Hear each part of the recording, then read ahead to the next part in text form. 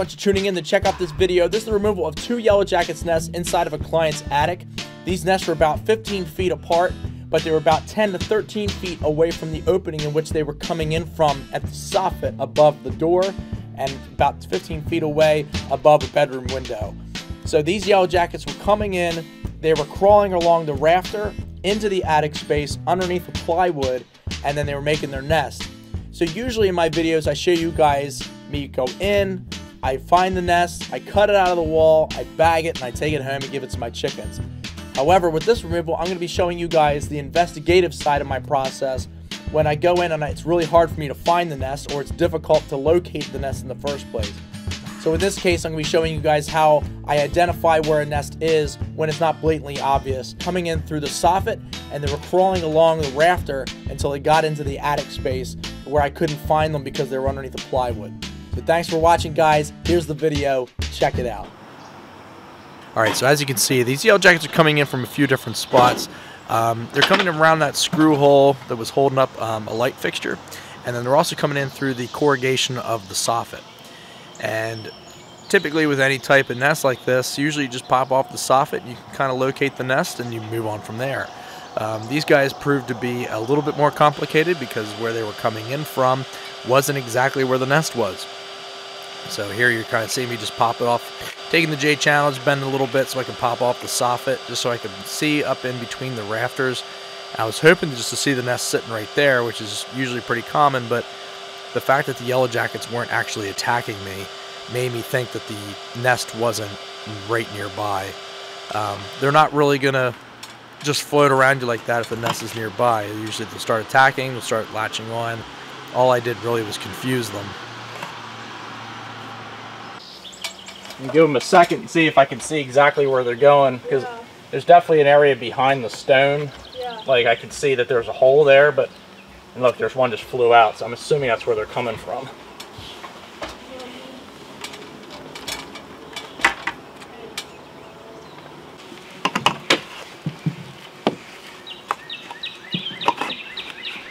So just peeking up inside, sticking my head in there and trying to see if I could see anything that would show where the nest was. But I really couldn't see anything hey. obvious. So just traced one. She went all the way back along this rafter okay. up inside the attic space. Okay. So for you know, for me to be able to get up in there, I mean, I would try to access from up in the attic okay. down through the floor. Yeah. Um, you know, it's just trial and error to get sure. exactly. So um, if you want, if you want to like tap up here with the with the golf club, they're not a, like that's the other thing. Like it was really odd that they weren't attacking me. Right. Like they're not coming after me at all. Yeah. So uh, it makes me think I'm not near their nest. So I watched that one. She landed here and crawled across the rafter and just kept going back until she went between the insulation. I can't see her any further. Okay. So the nest must be you know, I was telling you, they could almost be eight feet away from wherever they're entering. So if you wanted like, if you just want to do that so I can know where you are, okay. And then I'll go up there and. I'll just, I'll just do like an exploratory hole. Alrighty. Yeah, if you just, um, even if they fly down towards you, I don't think they're gonna do anything. But just kind of just do that. Okay. So I can pinpoint where exactly where we are. it is. Yeah. Okay. And then uh, I'll go from there. Okay. All right, I see it. you see it? Yep. Well, I, no, I don't see the net. I see, I see where you are. okay. Um, do you want me to cut into this and try to get it out? Yeah, that's fine. Okay. I just want to check with you. Yeah, no, that's. House, so. Yeah, that's all right. Okay. But are there uh, wasps flying around out there? Yeah. Okay, because I can hear buzzing. I just want to make sure I'm not hearing it from the floor. Yeah. I'll cut a little a little hole just so I could see if there was right. anything right there, and I don't see anything there, but that's not, I mean, where'd they all go? I don't know. Like when you were up there messing with them, uh -huh. there was like a bunch of them that came. Like they keep trying to go through that original hole, I know. silly. And then I saw like I've been watching ones. I'm I'm hoping it's not down here because I've been watching ones coming in and out of here too. That, that might be a different one. I doubt that they're though. These ones are going that, that it's far. connected. Okay. Yeah. I'll start with start with this. one at a time. One, yeah, one. Yeah. Yeah, because I mean. It's so weird. And the fact that they're not attacking me, uh, right? It's it's definitely indicative that they're not like that one. Where'd that one come from? Oh. Now that I say that, I don't want to get stung. Right, exactly. let me let me gander up there. I mean, look, see, that's what the one did. It flew up through here, it Yeah. landed on this rafter, and it walked back. It went straight back. And then I was watching other ones come out from there. But it's like you just can't see back far. I mean, I can see where to where I cut to. And I pulled the insulation out Right. just so I could. We'll get them. we'll get them. Yeah. I'll put that back. There. Yeah. 'Cause I see, I see someone exploring. We're just gonna keep that happy right there. exactly. Yeah. Well, I really appreciate Absolutely, this. absolutely. Sorry it took you a little longer than Um, I- anticipated. it's but totally fine. It's totally fine. all right, so I'm in a client's attic, and they had yellow jackets coming in from their back door, which is all the way over there. So it's been exploratory. Um, I cut a hole here, which is about four and a half feet, five feet from that opening. I cut a hole there, couldn't find anything. So about 20 minutes of looking around, couldn't find where they were going. I could just tell that one was crawling along the rafter. This is between rafters. So I came up and cut this little exploratory hole. Figured I'll bridge the gap between the two. And it, I cut, I drilled in directly over top of it. So I'm gonna do, I'm gonna cut this thing open and get this out of here for this client. So that's the nest right there. So there's the nest. All right, so first thing, once I actually drilled down in, I drilled directly on top of this thing, which is like, I don't know if you want to call it luck or just um, skill, but I'm going to go ahead and say it's luck in this case because I was pretty, I was pretty um, baffled as to where they were. There's the nest. So once I actually cut in and was able to remove that plywood, you can see this nest isn't absolutely huge. It's it's it's pretty small. It's the beginning of the springtime. Um, but they were going to end up having a problem once they actually got a little bit bigger. Uh, you can see there's a lot of uh, cross sections and various different um, cross member pieces of wood. But I mean, they- they could have worked their way around that, and built the nest around that, and excavate out a lot of insulation. But at this point in the season, it was really just uh, just maybe three layers of comb. They were all worker cells, nothing nothing major as far as queen cells yet. It's too early in the season for that. But uh, so I just go in with a vacuum, vacuum up as many of them as I can, and uh, now you can see where they're getting a little bit more aggressive since obviously I'm around the nest, removing the nest. Um, but again, this isn't a late season nest, therefore, even when they do start swarming, there's not a lot of them there really to swarm. There's not a lot of guards in there. Um, so I pretty much just got all of it, vacuum up as much as I can, and then uh, and then fix the hole for the client. Um, this up in that attic space, she told me not to worry about doing too much with fixing the hole, but anytime I cut into like flooring, I like to make sure that I seal up the hole pretty good. I don't want anybody stepping on an old hole that I cut open and breaking an ankle or something, and me get a call six months later, and then I have an insurance issue. so I always like to make sure that I button up holes that I make, especially in the floors. So just investigating around, making sure I got all of it, because even though it's the beginning of the season, I have seen them where there's little satellite nests. So even though it's a part of one big colony, um, you do notice that there's a couple pockets here and there. So I like to make sure I get all of it.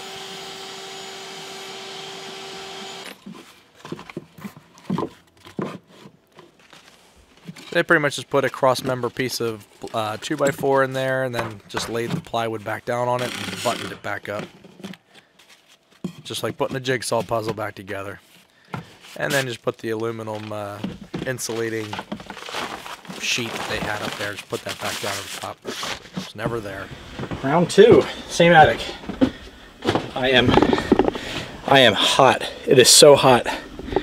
Oh, I'm like sweating. I feel like I like just jumped in the swimming pool with my clothes on. Up in this attic. Oh, God, I hope I don't have a freaking stroke up here. There's nobody home, and uh, here. A client had noticed that there was another an area of entry, and she was hoping it was just the same nest. But I assured her that was too far away to be the same nest. Uh, so she asked me to to handle it, and I understand that. And I'm just glad that I was still in the area. Matter of fact, just getting ready to leave.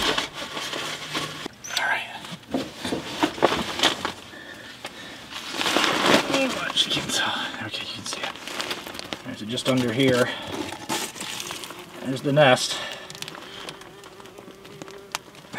I can't believe that I drilled in pretty much right in the right spot.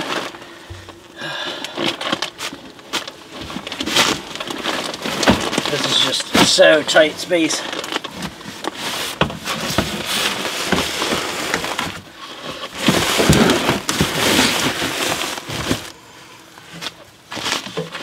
Phone's almost dead, so I gotta use my I use my drill as flashlight. Just, just building on the top of here. That's, that's a good little nest. Me vacuum most of these up real quick.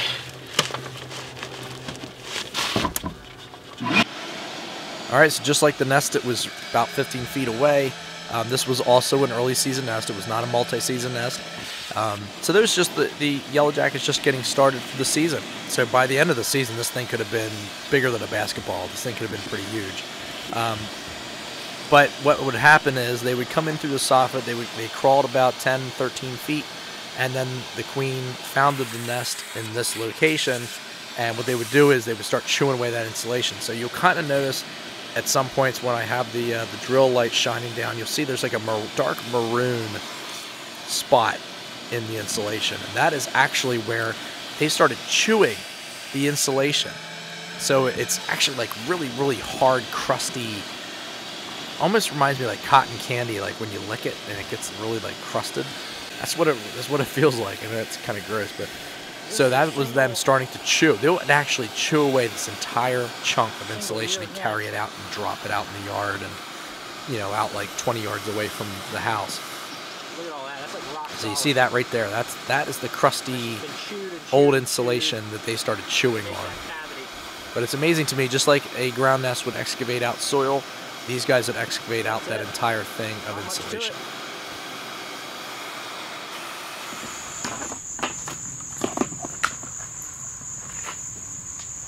There you go.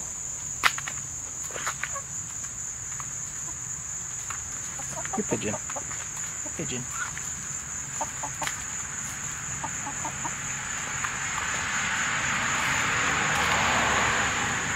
Angel.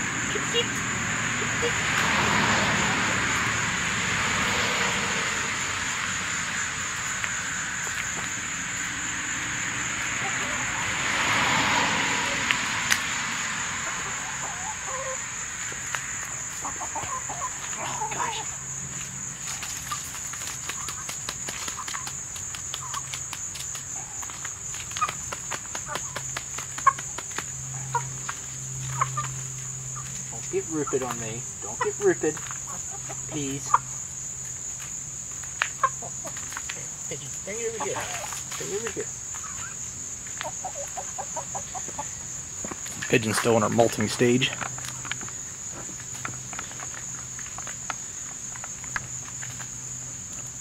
Keep molting, girlfriend. You'll have pretty feathers when you're done.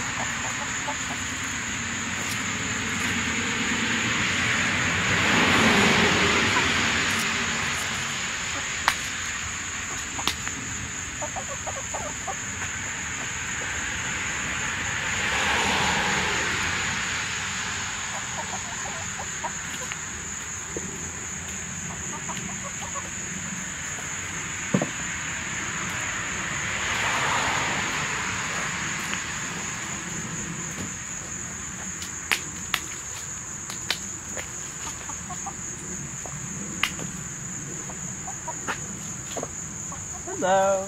Hey, How are you? good. How are you? Good.